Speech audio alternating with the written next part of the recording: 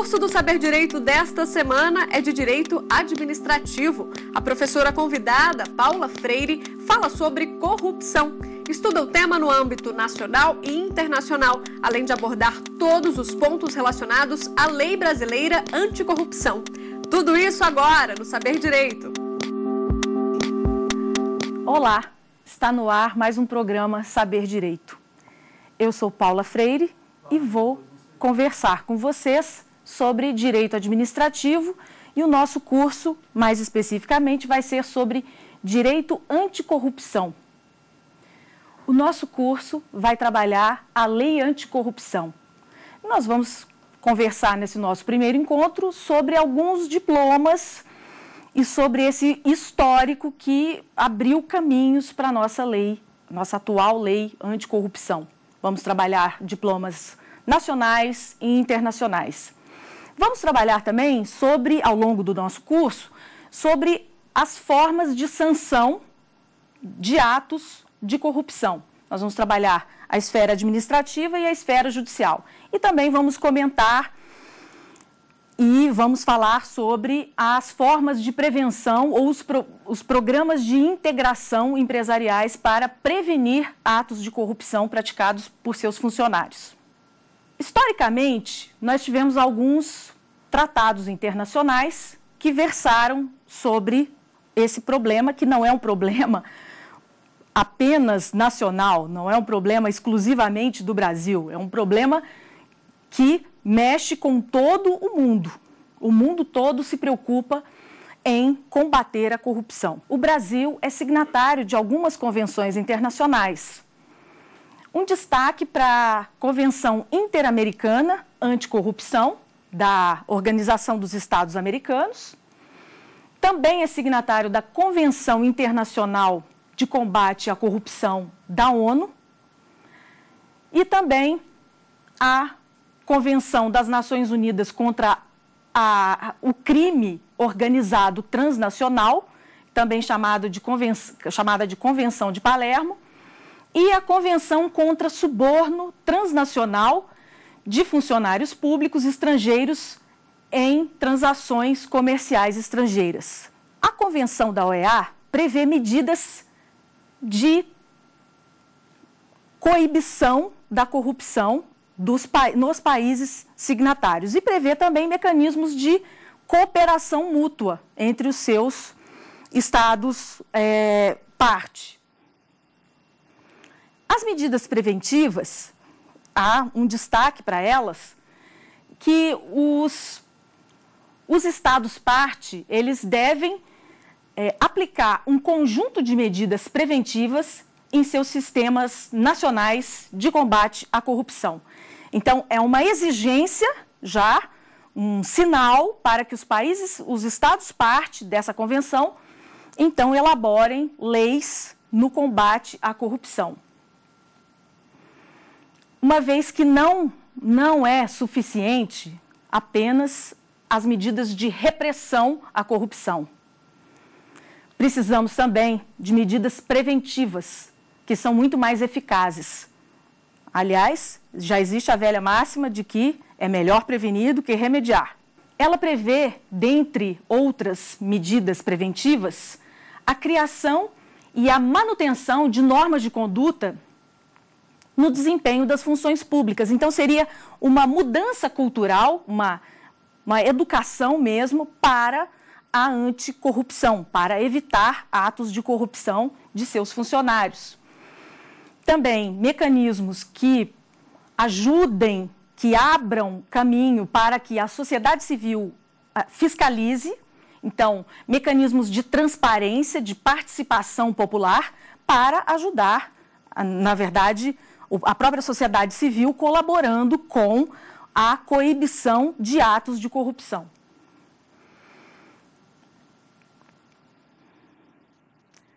Outra medida preventiva seria a criação e o fortalecimento de órgãos de controle dentro desses países é, signatários da, dessa convenção, da Convenção da OEA, para erradicar essas práticas corruptas. Há também um sistema de recrutamento de funcionários públicos, agentes públicos, para é, adquirir bens e serviços por parte do Estado de forma transparente, seja assegurada a transparente nessas operações. Quanto aos atos de corrupção, essa convenção, na verdade, não define exatamente quais são os atos de corrupção, mas ela cita algumas condutas, como, por exemplo, aceitação direta ou indireta de um servidor público ou qualquer pessoa que exerça função pública. Então, aí a, a concepção de agente público ela é a mais ampla possível. Então, não, não, se trata só de uma certa categoria de agentes públicos. Então, ela engloba toda e qualquer categoria de agentes públicos. Então, sejam eles remunerados ou não, efetivos ou não, não importa a classificação em que espécie de agente público esse é, possível ator é, se enquadre. Ela prevê, então, a aceitação direta ou indireta de qualquer objeto de qualquer objeto, de qualquer bem de valor pecuniário pelos agentes públicos, no sentido mais amplo, como nós já dissemos. Prevê também, como ato de corrupção, a oferta ou a outorga, direta ou indiretamente, a um funcionário público, a um agente público ou a alguma pessoa que esteja relacionada com ele. Então, vejam bem que ela previne, inclusive, a possível, o possível arranjo do que nós costumamos chamar no popular de laranjas. Então, ainda que se utilize de interpostas pessoas, a lei, a, a convenção também previne esse tipo de modalidade. E também é, benefícios de qualquer outra natureza, como troca de favores, promessas de vantagens, etc prevê também a realização por parte dos seus servidores de qualquer ato ou omissão no exercício das suas funções públicas para obter ilicitamente benefícios para si próprio ou para terceiras pessoas. Também esse oportunismo, esse aproveitamento doloso, então vejam que são condutas intencionais normalmente que vão, quando a gente pensa em corrupção, a gente pensa sempre em condutas intencionais, dolosas. Então, esse aproveitamento doloso ou a ocultação de bens provenientes de atos de corrupção também são coibidos pela organização, pela Convenção da Organização dos Estados Americanos. Prevê também a participação como coautor é, instigador ou cúmplice, ou até é, a ajuda na dissimulação desses atos, a acobertação, como a gente diz, é, de associações para manter é, atos de corrupção, ou seja, esquemas de corrupção. Então, ela prevê mecanismos de co coibição de, dessa manutenção de esquemas de corrupção. Até porque muitas vezes a corrupção não é um ato isolado, ela não acontece pontualmente. Normalmente os corruptores eles já têm um esquema que se protrai no tempo e se repete continuamente no exercício das suas funções públicas. A função pública, segundo a Convenção da OEA, é toda atividade temporária ou permanente, remunerada ou voluntária, realizada por uma pessoa física em nome do serviço público. Então, em nome do Estado, no exercício de funções públicas ou de quaisquer outras entidades ligadas ao Estado. Então, vejam só que a, o conceito de função pública é bastante amplo, convenção. E esse rol de atos de corrupção é meramente exemplificativo. Claro, porque a convenção não tem, nenhum diploma legal tem o intuito de esgotar totalmente as possibilidades de corrupção, as possibilidades de atos, de ações de corrupção. Então, elas dão é, ideias, são verbos é, normalmente é, que descrevem condutas e que são bastante amplos para exatamente não haver é, essas formas de ocultação, de é, dissimulação desses atos é, de corrupção. A Convenção da OEA também tipifica é, como ato ilícito, como um delito, o suborno transnacional e o enriquecimento ilícito.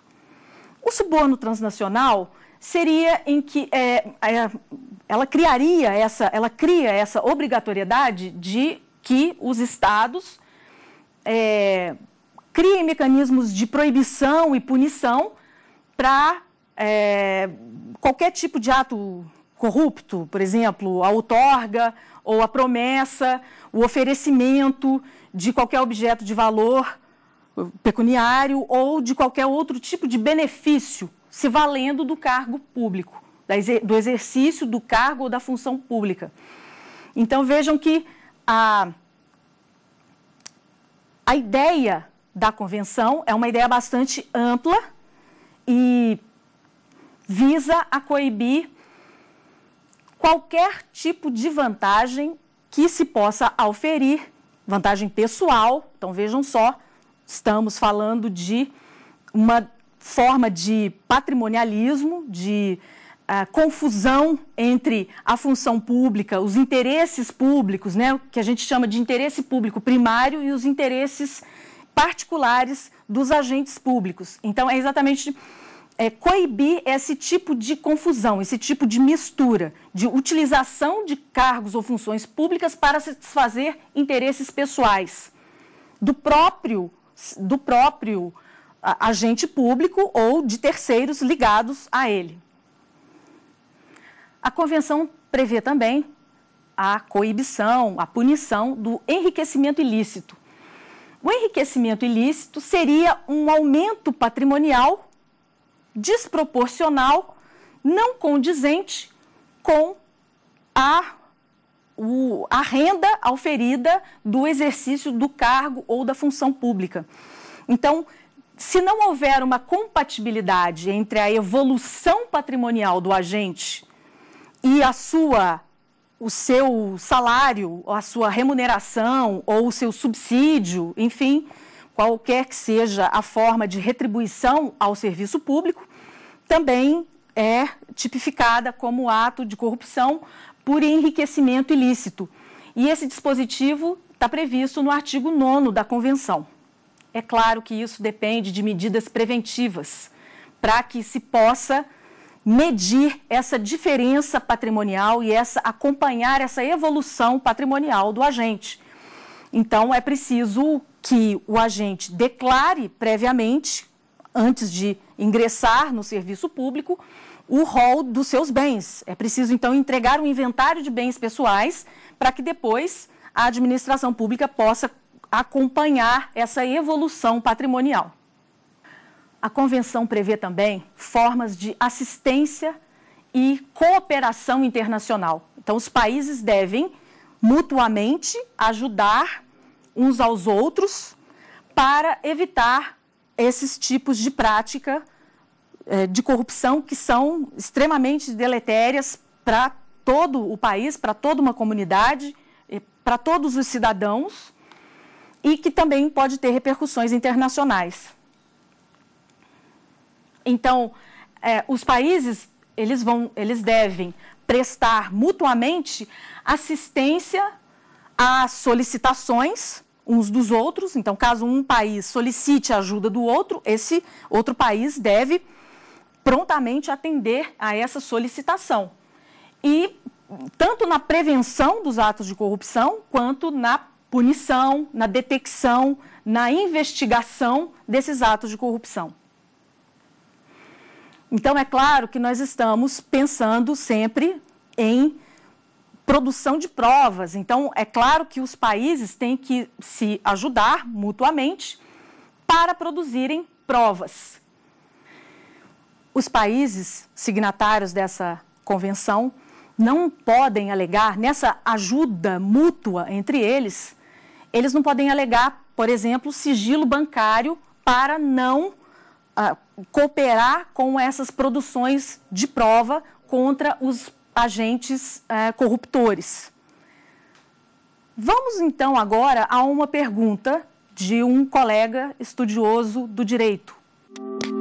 A improbidade administrativa é sinônimo de imoralidade administrativa? A improbidade administrativa, ela prevê a desobediência, a infração de todos os princípios da administração, não só o princípio da moralidade administrativa, mas é, pela lei é, de improbidade administrativa, a própria lei prevê é, é, ações, atos lesivos ao patrimônio público, atos de enriquecimento ilícito dos agentes e desrespeito aos princípios da administração. Aqueles princípios que estão elencados no caput do artigo 37 da Constituição Federal. O, o princípio da legalidade, da impessoalidade, da moralidade, da publicidade e da eficiência. Então vejam, na verdade, improbidade é muito mais ampla do que imoralidade administrativa. Então, a imoralidade administrativa está encampada nos possíveis atos de improbidade administrativa. Mas não é só imoralidade administrativa. Os estados parte dessa é, convenção, eles devem, então, nessa cooperação, colaborar com a localização, o bloqueio e a apreensão e o confisco de bens obtidos dessa prática ilícita, das práticas de corrupção, conforme os artigos 15 e 16 da Convenção. Prevê também esse um, um compartilhar de experiências e de formas de prevenção da corrupção. Então, os países devem colaborar mutuamente e também devem trocar experiências sobre experiências de sucesso, naturalmente, e também de insucesso para que sejam evitadas, é, para um auxiliar os outros nesse combate internacional à corrupção. O segundo diploma importante nesse histórico de busca à, à coibição, à extinção e à punição dos atos de corrupção é exatamente a Convenção das Nações Unidas, a Convenção de Mérida, que tratou de vários aspectos da corrupção. Então, ela é, trabalhou essas questões também de forma bastante profunda ela é dirigida, ela é dividida, aliás, basicamente em quatro eixos. São as medidas preventivas, são também as penalizações e aplicações da lei, uma cooperação internacional e a recuperação dos ativos, ou seja, a recuperação do dinheiro que foi desviado dos cofres públicos. Também prevendo medidas preventivas, a, a Convenção de Mérida também prevê a, o auxílio é a cooperação internacional entre os Estados. Para que haja integridade, transparência e boa gestão. O que se chama, o que se costuma chamar em administração pública de accountability, ou seja, é uma prestação de contas, é uma transparência e uma abertura para a participação dos cidadãos na fiscalização e no controle dos atos da administração pública. Como medidas preventivas, a Convenção da ONU prevê políticas é, de prevenção à corrupção no setor público, prevê a formulação de códigos de condutas para os funcionários públicos, prevê também códigos de condutas para contratação com a administração pública, para a própria gestão da fazenda pública, ou seja, gestão do dinheiro público. Medidas também relativas aos órgãos de repressão, Poder Judiciário, Ministério Público, e também prevê normas de condutas para o setor privado, ou seja, para aqueles particulares que vão contratar com a administração pública. E também claro, como medida preventiva, como nós acabamos de mencionar, a participação da sociedade, que é fundamental para a prevenção de atos de corrupção. Afinal de contas, o povo é o dono do dinheiro público e ninguém melhor do que o próprio povo para fiscalizar as ações dos seus agentes públicos, dos seus administradores. E também medidas para prevenir a lavagem de dinheiro que a gente chama de lavagem de dinheiro, que seria uma forma de criar uma aparência de legalidade para um dinheiro que teve uma origem escusa, uma origem criminosa, uma origem ilícita. Prevê também como delito as possibilidades de suborno de funcionários públicos nacionais e internacionais. É, funcionários estrangeiros, funcionários nacionais, portanto, é, qualquer forma de suborno ou tentativa de, entre aspas, compra de uma decisão qualquer ou de um ato qualquer que possa beneficiar um particular, é, qualquer tentativa nesse sentido é caracterizada como um ato de corrupção, um ato ilícito. A convenção também prevê como delito a, e criminaliza as condutas de promessa ou oferecimento ou até mesmo concessão a um funcionário público qualquer de qualquer benefício que vise a uma ação ou omissão que beneficie uma pessoa em especial, um particular ou uma pessoa, seja física ou seja jurídica, pode ser uma empresa também. A, a Convenção da ONU também prevê a punição e prevê como um ato ilícito, como um crime, a chamada corrupção passiva, em que o sujeito, do, o sujeito ativo do crime é um funcionário público. Então, esse funcionário público ele pode ser corrompido ou pode ser também um corruptor. Nesse sentido, então, a convenção ah, trabalha eh, nessas duas possibilidades de corrupção, tanto na corrupção ativa quanto na corrupção passiva. A convenção também prevê punição para é, corrupções no setor privado. E isso muito nos interessa porque isso começou essa possibilidade de pensar em punição de pessoas jurídicas, de particulares, é algo que vem evoluindo no tempo, até que nós, aqui no Brasil, chegamos na nossa lei anticorrupção, que é uma lei que visa a punir pessoas jurídicas que se beneficiam de atos de servidores ou de agentes públicos. Então, exemplo disso está no artigo 21 da Convenção, que prevê é, o suborno no setor privado. E também a malversação, o peculato de bens bens, e entendam qualquer tipo de bens que tenham valor, é no setor privado. Isso está previsto no, esse dispositivo está previsto no artigo 22. O delito de lavagem de dinheiro também é previsto no artigo 23 da corrupção, que é exatamente o que nós acabamos de comentar.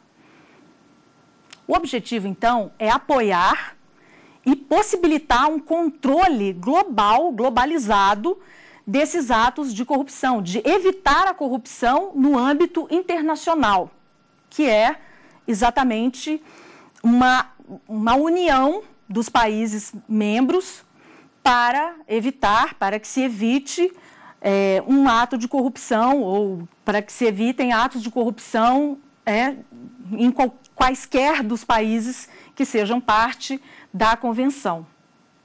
Então, é uma é, é uma cooperação internacional também.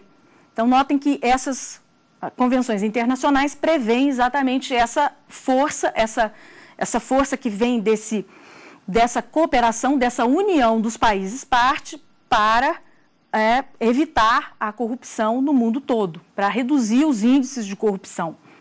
O capítulo 4 da Convenção vai tratar dessa cooperação mútua internacional e vai trabalhar exatamente as questões de extradição e de assistência jurídica mútuas entre os países parte. E para quê? Para que se cumpram as leis dos países essas leis que se preocupam e que é, dão tratamento jurídico para os atos de corrupção. No seu artigo 44, a Convenção dispõe que, em casos de extradição, os países membros não considerem os delitos elencados nessa, nessa Convenção como é, crimes políticos, ou seja, ela proíbe que os países dêem um tratamento, um caráter político para esses atos praticados pelos seus nacionais. Caso um Estado não extradite os seus nacionais, como é o caso do Brasil, por exemplo, é, esse Estado fica obrigado, pela Convenção, a é, submeter esse caso de corrupção desse seu nacional às investigações é, e até um possível indiciamento e condenação.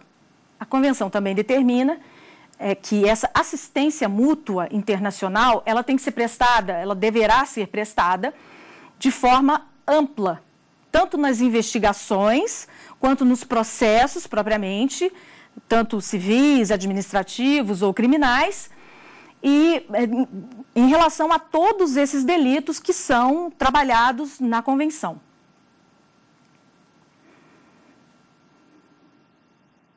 Então, cada Estado, parte, deve designar uma, uma determinada autoridade para poder receber essas denúncias, essas solicitações de assistência e então transmitir esse, essa solicitação para as autoridades competentes a depender do caso concreto. O capítulo 5 vai trabalhar a questão da recuperação do ativo, ou seja, da recuperação desse dinheiro público que foi desviado. E ela prevê, a convenção prevê medidas para a recuperação direta desses bens. Essas medidas prevêem, por exemplo, confisco e restituição e disposição e entrega desses ativos é, internacionalmente. Vamos agora uma pergunta, ouvir uma pergunta dos nossos colegas estudiosos do direito. É possível haver improbidade ainda que não tenha havido prejuízo aos cofres públicos? Na verdade, a lei de improbidade administrativa prevê três possíveis ações delituosas, ilícitas, melhor dizendo. A, o prejuízo aos cofres públicos é uma delas, claro, mas ainda que não haja prejuízo aos cofres públicos, que não haja também um enriquecimento ilícito dos agentes que praticaram as condutas da lei de improbidade administrativa, ainda assim pode haver condenação por ato de improbidade administrativa, como nós já vimos, o simples desrespeito, a não observância dos princípios do artigo 37 caput da Constituição, que são os princípios da administração pública, enseja, pode ou pode potencialmente ensejar uma condenação por improbidade administrativa. Há também a convenção da OCDE, que é uma convenção muito importante porque ela realmente abriu o caminho, ela inspirou a, o surgimento, o nascedouro da lei de anticorrupção. Essa, é, essa convenção, ela também traz esse, essa imperiosidade de é, punir não só os agentes públicos, mas também os, as pessoas é, os particulares e também as pessoas jurídicas que corrompem os servidores ou os agentes públicos. Essa, essa convenção inspirou também uma reforma feita no próprio Código Penal, por meio da Lei 9.613 de 98. Com inspiração na convenção, houve no Brasil, o Brasil então passou a criminalizar condutas de atos de corrupção de funcionário público estrangeiro, que foi uma grande inovação no nosso ordenamento jurídico.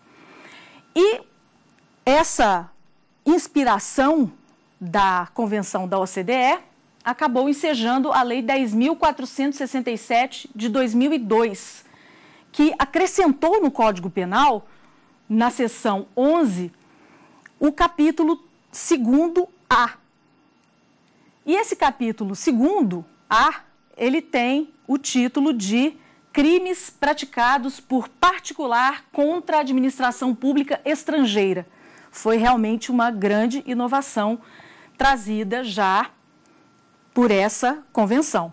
O artigo 2 dessa convenção, da convenção da OCDE, determina também que cada Estado parte é, tome medidas para criar é, mecanismos necessários para estabelecer responsabilidade às pessoas jurídicas que participam de atos de corrupção. Em geral, são elas, essas pessoas jurídicas, as corruptoras. E essa foi a grande novidade trazida pela Convenção da OCDE. A possibilidade de punição às pessoas jurídicas. Nós tínhamos até então a lei de improbidade administrativa, que pune as pessoas físicas, tanto os servidores públicos quanto os particulares que, conjuntamente com os, os agentes públicos, praticam atos de improbidade. Então, a, a própria convenção traz essa possibilidade, traz essa exigência de que os países parte criem mecanismos pra, para punir as pessoas jurídicas, e então nasceu a nossa lei anticorrupção, a Lei 12.846 de 2013, que prevê responsabilização civil e administrativa das pessoas jurídicas que praticam atos de corrupção em benefício próprio, ou seja, no benefício das pessoas, dessas pessoas jurídicas. Essa lei anticorrupção foi regulamentada pelo decreto 8.420 de 2015. E, obviamente, como nós acabamos de comentar, visa a punir os corruptores. Para quê? Exatamente para quebrar esse sistema ou os esquemas de corrupção que existem nos países. Porque, como nós sabemos, um corruptor ele não pratica um ato isolado de corrupção, naturalmente. Ele é, e essa prática ela é contínua e ela se protrai no tempo e ela vai é, é exatamente degenerando toda a vida é, de um país.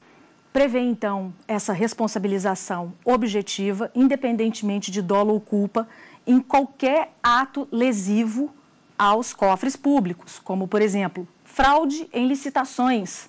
Nós temos dispositivos na lei anticorrupção que trabalham especificamente atos de corrupção envolvendo fraude à licitação, as licitações públicas previstas na lei 8666 de 93. E ela prevê punições a essas pessoas jurídicas que corrompem a administração pública nacional e estrangeira. Então, isso também é uma inovação da nossa lei anticorrupção. A quem se aplicam essas sanções e punições da lei anticorrupção? Elas se aplicam, naturalmente, às pessoas jurídicas que se beneficiam de atos de corrupção, independentemente da punição das pessoas físicas. Então, quer dizer, a pessoa física pode sofrer uma, uma punição via ação civil pública ou ação popular de improbidade administrativa e a pessoa jurídica, naturalmente, sofrerá as punições da lei anticorrupção. Então, não há nenhum impedimento, não há nenhum óbice para que a lei anticorrupção seja aplicada conjuntamente com a lei de improbidade administrativa e com a lei de licitações, que prevê alguns crimes praticados em é, contra os procedimentos licitatórios.